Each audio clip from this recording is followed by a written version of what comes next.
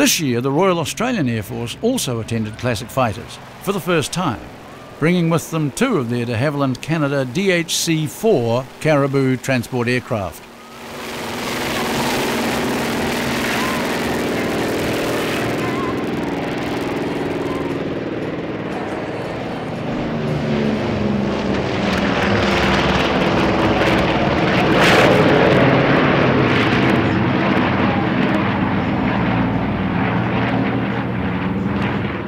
While these aircraft initially flew in 1958, the ruggedness and the usefulness of the design has enabled the RAAF to continue to operate 14 examples of the type to this day.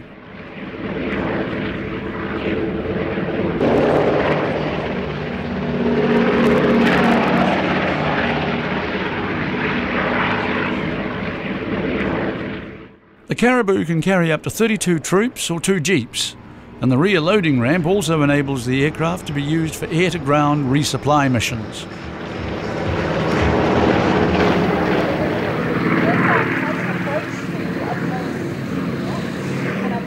Designed as a specialist short takeoff and landing aircraft, the Caribou initially served with the US during the Vietnam War.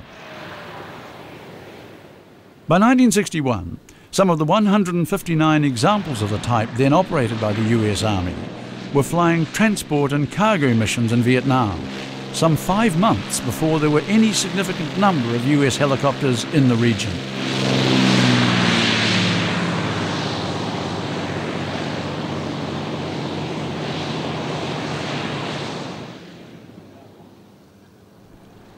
The RAAF aircraft currently perform both troop and cargo transport functions, and the ruggedness of the type provides a capability to operate from short airfields with rough or soft surfaces.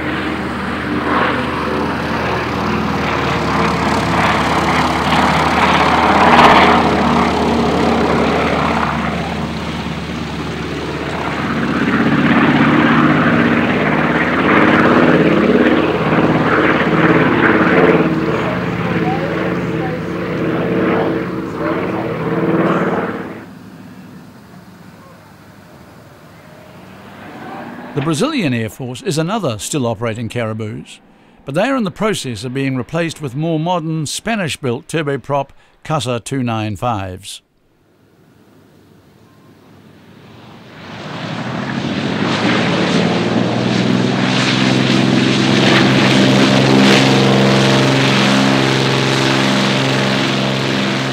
The RAAF DHC-4s are expected to continue in operational service for at least another five years, until 2012. Hopefully this means we'll see them back at another classic fighter show or two, before they're finally retired.